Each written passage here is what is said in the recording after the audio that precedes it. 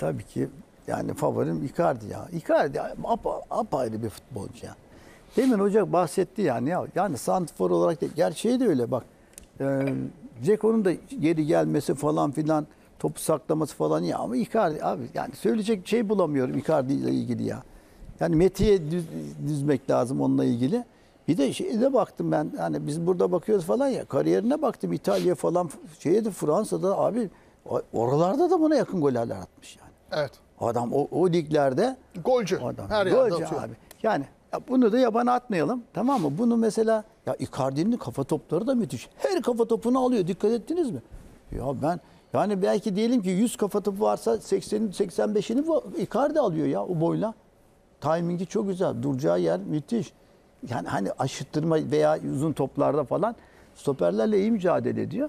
Ya tabii ki yani Zeko da yani iyi bir şey e, futbol, iyi bir santrafor. Fiziğini kullanıyor. Ama o biri yani hiç mukayese bile edilmez yani. Bana göre mukayese bile Icardi diyorsun. Icardi tabii. Hocam Ya ikisi de farklı oyuncu benim için. Şimdi yaş buna bakarsan 38'e merdiven dayamış bir oyuncudan söz ediyoruz. Daha düne kadar Şampiyonlar Ligi finali oynamış bir oyuncu. Ee, Bunları göz ardı etmemek lazım. Çıktığı yer, yetiştiği yere bakarsan nereden geliyor ve nereden nerelere çıkıyor. büyük bir kariyer Ceko. Ceko çok büyük bir kariyer. Öbür tarafta da Icardi'nin futbolculuğuna bir şey diyemez. Yani ikisi de çok de- değişik santraforlar. Yani bunlar e, topları ne kadar çok fazla siz içeri taşırsanız fazla bunları yormadan size o kadar da çok fazla e, skor üretecek bir oyuncular. E, işte Icardi hepimiz biliyoruz geldiği yerler, yetiştiği yer, çıktığı yer. işte Sampdoria'ya gidiyorsun, geliyorsun tekrardan kiralık Sampdoria'dan Inter yapıyor. İki, orada da iki kere arka arkaya yanılmıyorsam gol kralı oluyor İtalya'da. E, arkasından Paris yapıyor ama bu yaşta belki buralara gelmemesi lazımdı Icardi'nin. Daha o elit yerlerde olması gerekirdi. Belki de özel hayatından kaynaklı. Galatasaray'ın şansı oldu. De nasıl? Çok büyük Kerem şans kim fazla oldu. gol kaçırıyor? Bir de ona baksana. Tahmin veya Kim? kim, Yani fazla gol kaçırıyor çok, hocam? Çok net. Yani girdiği Ne? pozisyona oranla Ceko kesin daha çok kaçırıyordur. Yani şu an elimde o istatistik yok. Şimdi Tamam peki Ama şöyle bir şey daha. bitiriciliği Ceko'dan tamam. daha iyi. Herhalde ama peki başka bir soru. Kim daha çok net pozisyonları kaçırıyor? ya Yine Ceko'dur. Daha Yok ya fazla- sen Icardi'nin penaltıyı kaçırdı. Ya penaltı- Kendi Hocam kaleye şöyle- girdi. şöyle Biliyor girelim musun? olaya. Top dışı abi 3 tane şey kaçırdı Icardi. Pes yani. Aa, yani. Ya hocam Öyle bir de şeyde yok, Ceko'nun da son son maçta hani kaleciyle karşı karşıya kaçı beraberlik maçı Konya maçı galiba Konya maçı. Çok kaçırdı orada. Çok kaçırdı Or- orada. ya onları mesela kaçırdı. Icardi atabilirdi ama Sevgili mesela hocam. ya zaten Icardi'nin şeyi var. 3 tane pozisyon görüyorum. Yani %100 Bitiricilik konusunda Icardi Ceko'dan çok Olay daha şöyle. Yani Ya ben olarak Geçen sezon. Icardi'nin beşlenmesi, ikinci devre beşlenmesi çok müthişti. Ve onların hepsinden çıktı. Bu sezon o verimi alamadı Icardi. Dikkat et alamadı. Kendi, nasıl? Çok fazla dışarıdan Alamadı mı? dışarıdan verimler alamadı. Hep kendisi arayışlar için. Bak geçen sezondan bahsediyorum. Hocam ikinci bu devre. sene de kaç gol attı adam ya? Kaç Hocam bak var bir şey ya? anlatıyorum ben farklı bir şey söylüyorum. Geçen sezon buradan gelen Kerem ve Raşitsa'nın getirdiği toplar bu sezon o kadar çok fazla gelmiyor. Bu, sefer Mertens'e daha var. Barış girdiği zaman Ceko'ya da çok fazla top getiriyorlar dışarıdan. Tadic, e, şey e, İrfan Can oynadığı zaman arkadan e, Zimanski. Ama pozisyon kaçırdı dersen Ceko daha çok fazla pozisyon Çok kaçırdı. kaçırdı da bunu çok, Çok kaçırdı. kaçırdı. 3 tane Ha, Zaten var. e, Ceko'nun hem daha fazla şutu var maç başına hem daha fazla Çok fazla isabetli şutu buluşturuyorlar. var. Kerem çok fazla buluşturuyorlar. Evet. Hava Ama daha hakimi- az gol atmış. Tabii hava hakimiyeti daha fazla.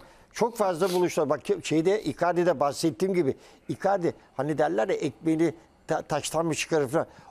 O, Ya oraya gitti zaman iş. tabii. Oraya dönmeye başladı. Ama geçen seneden fazla gol attı sanki bu sene Icardi. hemen hemen geçen sezonda Ha? işte aynı Gelmedi melmedi diyorsun ama sanki bu sene daha... Şu anda ne kadar kaç golü var? Icardi'nin Bakacağım. 23 mü? Evet. 23 gol. Geçen sene de 20 21 miydi? Öyle yani bir şeydi. ama geçen hocam diyorsun ki bak geçen sene top top geldi bu sene az Hocam geldi daha ikinci fazla gol ikinci devre bak ikinci devre Fark geçen etmiyor. sezon Bu ikinci sene ama çok sakat oynadığı karşılaşma da oldu. Geçen yılda e, 24 maçta 22 gol atmış. Bu sene 32 maçta 23. Bak geçen sezon hocam Ama çok sakatlık geçirdi bu sene. sevgili Evet, hocam. Yani çok sakat sakat Bak, oynadığı geçen dönem. sezon ikinci devre bilhassa ikinci devre Kerem'le e, şeyin Raşitsa'nın getirdiği çok iyi toplar getirdiler. Çok iyi geldiler. Bak, onu öğrendiler o ön direk arka direk olayını. Bu sezon biraz oralarda bir sıkıntı ama Icardi ile Ceko'yu ikisini de Oyun düzenleri çok farklı. Hocam bambaşka Çok ama farklı. hocam kimi alırsın yani? Bir kişiyi al dediler sana. Kimi alacaksın? Yani ikisini de alırım hocam ne güzel. İkisini de hocam bu var ya var. Ne soruyorsan var ya başka tarafa çabuk. Niye ama ikisini de alırım El- elimde imkan var. Ya sen ikisini bana abi. bak Arkasını fazla yaparım. seni döver vallahi. Ya. Bir Kim şey soruyor ya? bu başka bir şey söylüyor. biliyor musun? Niye niye abi mesela Ya sen bir şey söylemişsin ikisini de de net Ya biz de biliyoruz. yapmıyor olabilir hocam. Biz ikisini de alırız zaten Hocam de ben, sen birini ben de mesela imkanım olsa hoca olsam ben ikisini de alırım. Ona göre arkasını yanlarını farklı oyuncularla kullanırım. İki tane böyle bir santrafor Hocam olacak. tek şansın var diyoruz sana tek. Ha, tek şansım var. E, tabii yaş mefhumlar. Icardi Ya ne- alırım. ne yaşı abi? Hem Ben oyun yaşa açısından da Icardi ya. alırım. Ama keşke olsa da ikisini de alsa.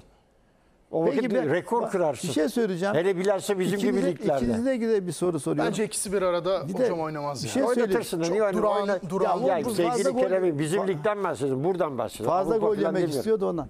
Peki Valencia'ya ne diyorsunuz? Valencia. Evet. Ener Valencia. Evet. Benim hiç tuttuğum bir oyuncu değil. Kaç gol attı bir bak bakalım 30, yani. 30 attı. Çok şaşırtıcı. Ya Allah'ım yarabbim. Ama kaç tanesini penaltı? Ya sana ne- e, penaltı da atamadı bunlar. Ya olur ya. Ya o- bunların o penaltı farklı bir atışlarını biz şey yaparken gösteriyor. Zaten Yok gol olmaz. Icardi'nin penaltı golleri var. Ama Var da. Ceko kötü bir penaltı kullanıcısı. Ya Tadiç Tadiç de de öyle. öyle. Tadiç de öyle. İşte öyle. Ya atı o kaleci %50 ile atsa ya arkadaş ben bu penaltı atanlara 50 defa söyledim. Şu boyda atacaksın yerden. İşte penaltı atmak da başka bir meziyet. Ya tabii- Hayır at çalışacaksın. Ya Kerem Allah aşkına sen şimdi hocasın. İkimiz de dedin ki gel kardeşim buraya. Mahmut hocam şey Mahmutcum. Bence geç bakayım buraya geç. Penaltıyı böyle atacaksın bak kale bu.